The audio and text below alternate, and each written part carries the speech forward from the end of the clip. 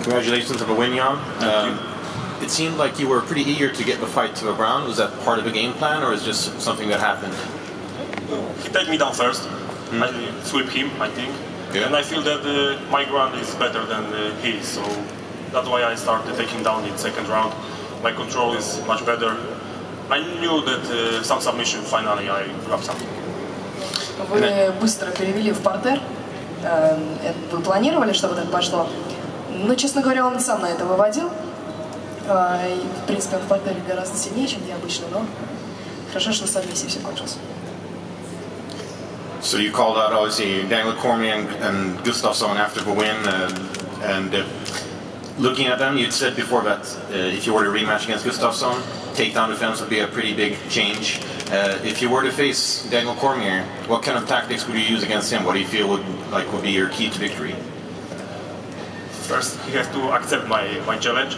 Uh, he is good, uh, good wrestler, but also he got knockout power, so I have to be ready for everything. And I think I will have to keep fighting stand-up. Если э, Дэниел Корни, которого вы вызвали на э, бой, примет ваш вызов, какая будет ваша тактика? Ну, он хороший э, борец, а, но также может, у него очень тяжелый удар, хорошая ударная техника, А, поэтому посмотрим. Яна, скажи, ты нашел ключ к победе над Никитой еще в первом раунде в портере или уже во втором только получилось? Yeah, please tell. Did you figure out how to defeat Nikita in the first round, or it just came to you in the second? I just don't accept that he will take me down so fast. Uh, I think that he will keep fighting stand-up, but he take me down, uh, hit me a few shots, wake me up, and I start doing my job. Я не думал, честно говоря, что он так быстро в партер переведет. Я думал, он еще поборется где-то в стойке. Но он перевел в партер, нанес мне несколько ощутимых ударов, разбудил, так сказать, и мне пришлось ответить. Поздравляю. Great well-covered song. Who gives you this idea for the song? No one, that was my idea. I like the song, that's why I choose it here in Moscow. Классная песня, под которой выходили, Катюша, кто вас надоумил? Да я сам решил. Подумал, что остроумно будет в Москве выйти под Катюшу. А был ли какой-то выбор, кроме Катюши? Did you have any, any choice, uh, any options to want to pick? You know? No, that was my first idea, and I choose this. I know that I, if I will fight here in uh, Russia, in Moscow, I will choose that song. Это первое, что пришло на ум. Так что, если я буду драться в Москве, всегда будет Катюша. У тебя уже четыре победы подряд, и после своего боя ты показал жест, то, что ты хочешь бой, title fight. Как ты думаешь, UFC даст тебе такой шанс, потому что сейчас неразбериха с Дэниел Корье в тяжелом и в полутяжелом весе? I hope so. I hope so. I deserve for the title shot, and I hope so. The UFC gives me the, the chance. I, I think I'm, I'm ready for it. Okay, so should I just double translate that? So you got four wins in a row, um, and you, you made a sign indicating that you want a title fight. Do you think that the UFC will give it to you? No, I hope so. Я надеюсь, что да, что будет титульный бой. Hello. Congratulations. Uh, my name is Igor Lazarin. I'm from, from this agency TAS.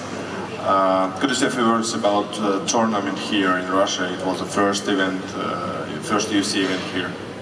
Yeah, this is first event, uh, and I'm happy that I can be here uh, in historic place uh, for historic moment because UFC was first time in Russia and Moscow, and I'm really happy that I can be part of that.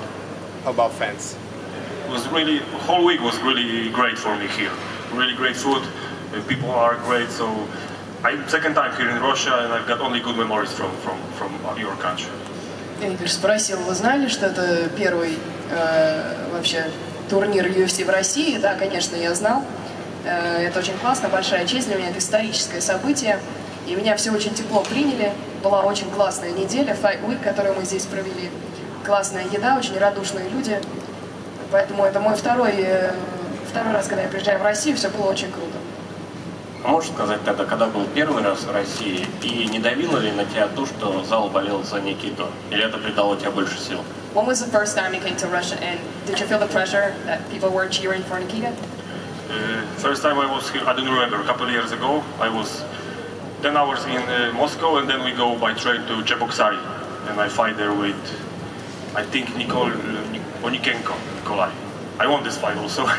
Uh, no, I fight a couple times in uh, my opponent's territory, and uh, no pressure for that. I just want the people who make some noise, you know, for them or for me, doesn't matter. They have to be loud. А, Не помню точно когда, пару лет назад мы приехали, провели 10 часов в Москве, а потом на поезде поехали в Чебоксары. У меня там был э, бой, который я, кстати говоря, тоже выиграл. Мне не впервые вообще бороться на, так сказать, территории противника. Э, И неважно за кого э, болею, главное, чтобы, чтобы вообще в целом энергетика была сильная. Меня, мне это нравится. Um, congratulations for your victory, and uh, we talked this week a little bit about uh, you taking that fight uh, against Nikita.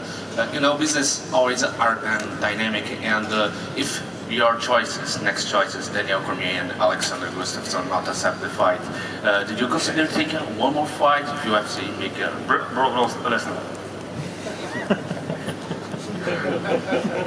Вы э, хотите с э, Корнье или Гу- Густавом? М, Честно, я хочу с Броком Леснером. Больше всего. Уже говорила об этом. Why? Why not? Вадим Тихомиров, сайт matchtv.ru.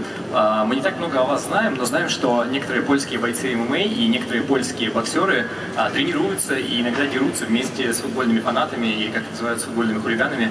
Если это не очень личный вопрос, а, был ли у вас подобный опыт? Может быть, вы пересекались с фанатами российских клубов вот подобного рода мероприятиях?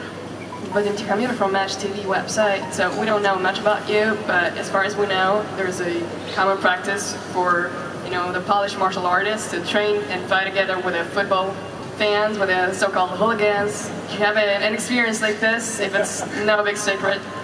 This is not a question for me. You can ask about that my coach. uh, no, I don't have. A, I'm only sportsman. Uh, don't have. A, nothing with uh, with that. No. Ничего такого, только спорт.